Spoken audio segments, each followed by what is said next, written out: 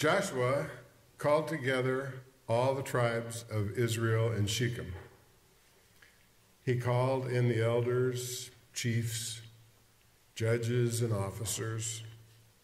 They presented themselves before God. Then Joshua addressed all the people.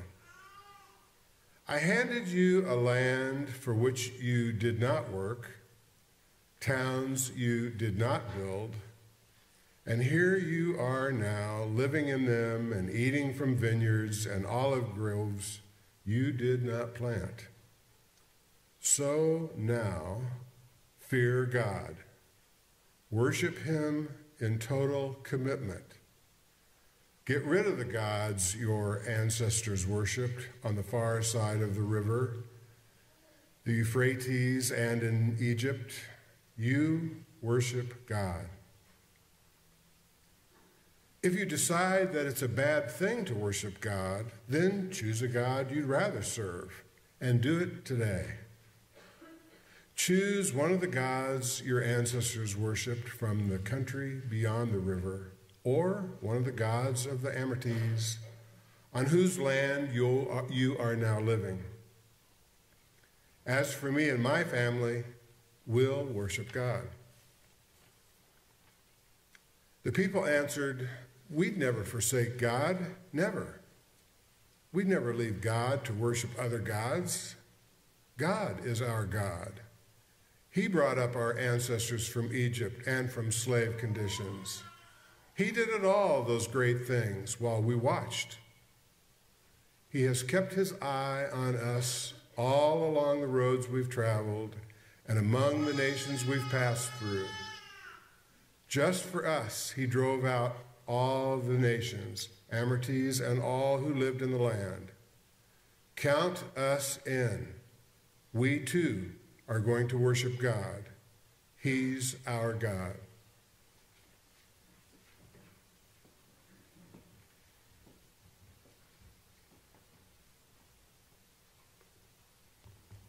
Good morning. Good morning. It works in the second service too. I'm surprised at how many churches I go to. I say good morning. They say nothing back. it's good to be here, and uh, while I have been in worship here on several occasions, it's been a long time since I've preached. So that may mean that I haven't taken or had the opportunity to formally thank you for our continuing partnership in ministry. And I don't want you to think that I take that for granted. It's important to have a strong progressive voice here in Johnson County, and right now, you are the only UCC church in the Kansas City area in Kansas Oklahoma Conference. I am both painfully aware of that because so many of our churches here have closed, and I am deeply grateful for who you are and your ministry here. But it makes your ministry that much more crucial because when someone is looking for a UCC church, in the conference in this area, I am sending them to you. And I know that I can send them here with confidence because you are strong partners with us in the conference and the wider church as you embody the core values of our denomination of extravagant welcome, a commitment to justice, and living our faith in our communities and in the world. We do that partner, we live that partnership in many ways, but I want to thank you especially for your financial support of our church's wider mission, OCWM. How many of you know what that is? If you do, raise your, oh, good, there are quite a few hands going up. But for those of you who don't, those are the dollars that congregations give, that you give to support the ministry of the United Church of Christ in this conference and beyond. Your dollars help support annual meeting planning and stewardship seminars and work with search committees, our German partnership, planning for national and regional youth events, and the list goes on and on. Part of your OCWM dollars are sent far beyond the Kansas Oklahoma Conference to the national UCC offices to support an even wider witness of the United Church of Christ. Last September, I was among 22 conference ministers who traveled to Washington, D.C where we collectively made over 40 visits to lawmakers to advocate for around the topic of immigration. As partners, this local church, led by Diane Kuhn, sent over 40, sent over 200 letters calling for humane treatment for immigrants, especially for children. Thank you, thank you for that kind of partnership and that kind of response. We delivered those letters to Congress when we made visits to the, uh, to the offices. Your voices matter. And we said that it matters how children are treated. It matters in, even in Kansas, we don't appreciate, we don't support how some children are being treated. Our, how we treat our neighbors matters. This entire effort was supported by our office in DC. Again, this is your OCWM dollars at work. I could go on and on about how your OCWM dollars are used, but I want, what I want you to hear most of all is thank you. Thank you for your support financially.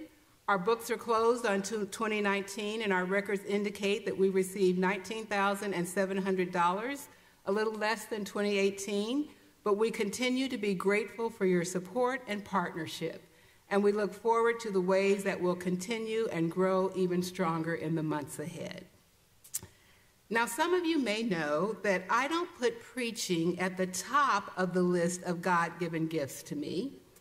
So, when Aaron told me he was doing a series on the Joshua generation and I should use a text from Joshua, the words he heard from me were okay, but deep down I was thinking, oh, great. because the book of Joshua isn't exactly what a person who isn't a real preacher likes to hear when they know they're going to have to craft a sermon. And if you've ever read the book of Joshua, you probably know what I mean. It isn't a pretty sight. It's not exactly what I would call an image of God that is uplifting and encouraging. But one thing it does do, and that is emphasize that Joshua was a faithful and determined leader. And the text that was read is one that you might recognize. Joshua is at the end of his life, and he has gathered the community and recounted all that they have been through together. Now, I spared you much of the reading of the details, but in short, he tells them all he has done, and they are living on lands they didn't work for and towns they didn't build. They're eating food from vineyards they didn't plant. And being a man of God, he tells them it is time for them to decide for themselves who they will worship. And then he makes this declaration. He says, For me and my family, we will worship God. You may know it in its more familiar recitation. For me and my house, we will serve the Lord. Now, that's a pretty clear declaration for a man dying to speak for subsequent generations of his family. And so, as I began to think about what it means in relationship to the Joshua generation that Aaron has been focusing on, and where we are in our country, I began to wonder what does it mean for one generation to speak for another generation? Does serving God change based on a certain time or on the generational differences? Does it change or does God change? Might it mean that one generation got something wrong in the first place and the subsequent generation is charged with correcting it? That's going to go over really well, isn't it? But you know, these are very real questions that we are grappling with. We may not frame them as questions between the Moses generation and the Joshua generation, but in some ways they are. You don't need me to stand up here and quote the statistics to you. My guess is that you have read them or heard them somewhere. The differences in ages on how a certain topic is viewed. Go to, or you can go to the fount of all wisdom yourself. Just Google it. And you will see the divide on almost any given topic. The breakdown is pretty much clearly on age. Now, I could delve into this uh, more deeply with you on a wide range of concerns, but we ha don't have all morning. We're not Baptist. so I had to pick one. And because it's Black History Month, and because I like to pick the easy topics, I picked race. I mean, what can be easier than the African American conference minister speaking in a predominantly white congregation about race, right? but I am who I am, and you are who you are, and we are in this together. And together we are experiencing the reality of what the Joshua generation has brought to our country, and that is redefining the conversations that we need to have about race. And one thing about Joshua, he was faithful, he was relentless, and sometimes the result was brutal and painful. Now, I thought I was going to do something pretty radical here, and that was tell you my age. But I see you guys are pretty used to talking about age. uh, you're pretty revealing about age here. I was born in 1953, so I am 66. See, I thought I was going to form a special bond with you by revealing my age. You don't have to tell me your age, but for me, this was a generation where I was being taught that color made no difference. We were aiming for a color-blind society. Does that sound familiar to any of you? Raise your hands if that's what you were being taught when you were growing up. Okay. We were aiming for a country where color made no difference. That's what my parents told me, and that's what I, and by the show of hands, many of you grew up with as well. And so we didn't see color, although we all kind of knew that wasn't true. I knew I was the only black child in my class, and I knew that I was representing the entire African American population every time I spoke. And I knew that even though color made no difference, that discrimination against African Americans was real. But I didn't know how to frame it or reconcile it with the words of my parents that color made no difference. I didn't know then that they meant that my race didn't limit me or define me because they knew that in every segment of their lives that their color had indeed made a difference in the quality of their lives. Indeed, it had limited them in education, in choice of jobs, you name it, color had made a difference for them. But you know, yeah, you know, I'm not white. So I can't speak for any of you who grew up with the perspective and goal of living in a colorblind society. Were you not taught to see color? You were taught also not to see color, so I can't speak to that. But I have to wonder, did you really not see color? Did you, but did you hold certain ideas about persons of color? Let's, let's watch a first clip. So it's 2006. My friend Harold Ford calls me. He's running for U.S. Senate in Tennessee. And he says, Mellody, I desperately need some national press. Do you have any ideas? So I had an idea. I called a friend who was in New York at one of the most successful media companies in the world, and she said, Why don't we host an editorial board lunch for Harold? You come with him. Harold and I arrive in New York. We are in our best suits. We look like shiny new pennies. And we get to the receptionist and we say, We're here for the lunch. She motions for us to follow her. We walk through a series of corridors, and all of a sudden we find ourselves in a stark room, at which point she looks at us and she says, Where are your uniforms? Just as this happens, my friend rushes in the blood drains from her face. There are literally no words, right? And I look at her and I say, Now, don't you think we need more than one black person in the US Senate? Now, Harold and I, we still laugh about that story. And in many ways, the moment caught me off guard. But deep, deep down inside, I actually wasn't surprised. colorblind? Not really. There were some perspectives in that person's mind when she saw a person of color about what that meant. That image, that idea of being colorblind, still lives on in the minds and, yes, in the hearts of some. So, what does it really mean? And is it really real? Let's continue on with the second clip.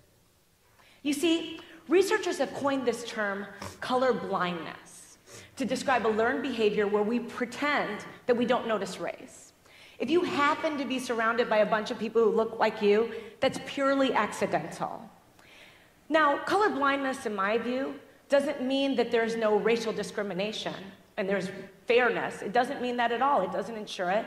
In my view, color blindness is very dangerous because it means we're ignoring the problem. There was a corporate study that said that instead of avoiding race, the really smart corporations actually deal with it head on. They actually recognize that embracing diversity means recognizing all races, including the majority one. But I'll be the first one to tell you this subject matter can be hard, awkward, uncomfortable, but that's kind of the point. See, colorblindness isn't real and it doesn't work. We all see color, even if we don't name it. But the Joshua generation and those after are calling us to something new. They're calling us to a new paradigm about race, and it's shaking the foundation for many, even in our own congregations. A new paradigm of truth telling, even with just words and language. Many in our churches, even our very progressive UCC congregations, don't like the word white supremacy. They don't like the words white fragility or white privilege. After all, many are people who have been on the right side of justice. And this is often really hard stuff to hear. There is resistance and bafflement about tearing down monuments that recognize our heritage. And the conversations about reparations is fraught with all kinds of difficulties, even from the most generous, committed, and progressive people of faith. I can imagine that some are thinking like Joshua. Here we have given you all of this. We marched, we fought for civil rights, for equal rights, and now you're saying we were wrong? You want us to see color? You want us to celebrate differences? What happened to all of us being, well, just Americans? It's hard for some to understand that I can be an African American and feel the pain of the history of this country that continues toward African Americans and name it, and still be proud to be an American and call this country and to do and be better. Yes, the Joshua generation has started us down a different road. Let's play the last clip. In the spirit of debunking racial stereotypes, the one that black people don't like to swim, I'm going to tell you how much I love to swim. I love to swim so much that as an adult, I swim with a coach. And one day, my coach had me do a drill where I had to swim to one end of a 25 meter pool without taking a breath. And every single time I failed, I had to start over. And I failed a lot. By the end, I got it, but I got out of the pool, I was exasperated and tired and annoyed. And I said, Why are we doing breath holding exercises? And my coach looked at me and he said, Mellody, that was not a breath holding exercise. That drill was to make you comfortable being uncomfortable, because that's how most of us spend our days. If we can learn to deal with our discomfort and just relax into it, we'll have a better life. So I think it's time for us to be comfortable with the uncomfortable conversation about race. Black, white, Asian, Hispanic, male, female, all of us. If we truly believe in equal rights and equal opportunity in America, I think we have to have real conversations about this issue. We cannot afford to be colorblind we have to be color brave. What if part of what it means to serve God today means being color brave? Let's not fool ourselves. Just because we are members of the United Church of Christ or in a progressive church doesn't mean that we all get it and that we get a pass as having arrived. The UCC is a diverse denomination, and I can assure you that there are people in every single one of our congregations that will take issue with what I have said today or about race or that I will ever say about race. Believe me, I know. And you know what? That's okay. Because the important thing for me is that we become communities of faith, that we are brave enough to have the conversations about race. We don't all have to agree because that's not what our faith, what our community is built on. It's not built on all being in agreement. The important thing is that we no longer pretend that it doesn't matter, that we no longer try and cover it up or play the hush hush game. What if I were more brave about race? I wonder sometimes about the woman who said to me that I wasn't just a token, that I was really good. I wonder how many other people of color she has offended out of her ignorance. My guess is she didn't intend to be offensive. She thought she was giving me a compliment. What if I had said something about that to her? Said it very kindly and lovingly, because you know what? Nobody wins by blasting someone. That simply shuts down the conversation. But what if I had said something to her about why that was offensive. Maybe that would have prevented her from saying something like that to someone else. Maybe she would have grown to that as a result of that. So perhaps I could have been more brave as well. So, see, I'm not pointing the finger at you to say you need to be more brave. We all perhaps need to be more brave. No one here has the market on having arrived. You know, I picked race today, but really, I could have written a similar sermon about any number of things this morning, because the central question is what it means to say, as for me and my house, we will serve God.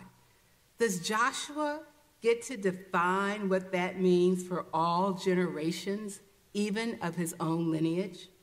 While it is hard for me to believe that there was ever a time where people actually believed that slavery was right and condoned by God, I know that there was. There were people by the thousands, churches who stood firm for slavery. Now, it is hard for many of us to understand denominations that don't ordain women. And we know that there are churches, denominations, that think it's just fine to ostracize and marginalize people based on their sexual orientation. And there are Christians who think it's just fine to house migrant children in detention centers. After all, their parents should have never been coming here illegally in the first place.